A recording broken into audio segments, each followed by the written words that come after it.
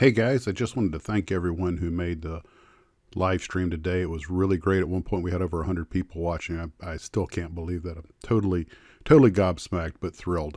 And uh, this is a little bit of footage I shot with the drone trying to get a nice intro.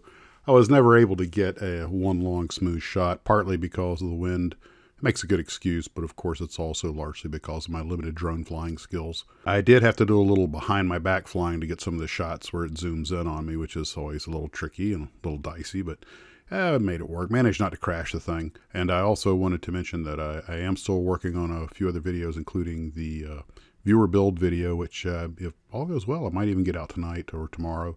Uh, but I, of course, really have to start focusing. I think I'm starting to use models and videos as an excuse to avoid studying. And uh, yeah, I guess old habits never change. I was the kind of kid who would always find things to do so he didn't have to do his homework. I would clean up the house to avoid doing the homework. But, uh, well, that explains the C plus average. But anyway, once again, I just wanted to thank everybody for uh, for coming out for the live stream. Uh, it was a blast, and uh, we'll be uh, getting up with you guys uh, soon, putting some stuff out. Don't worry. And once again, thanks for everything. You have a great night, and we'll see you later. Bye bye.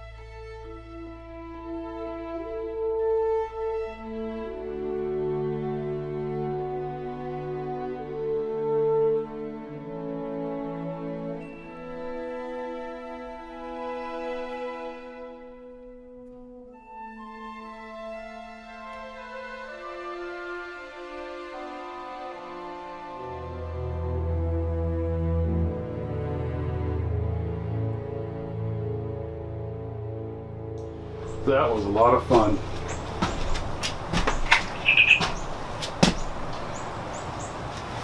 Captain ship. Enterprise. Spock here.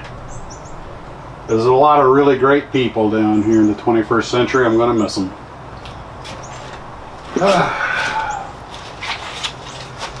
One to beam up.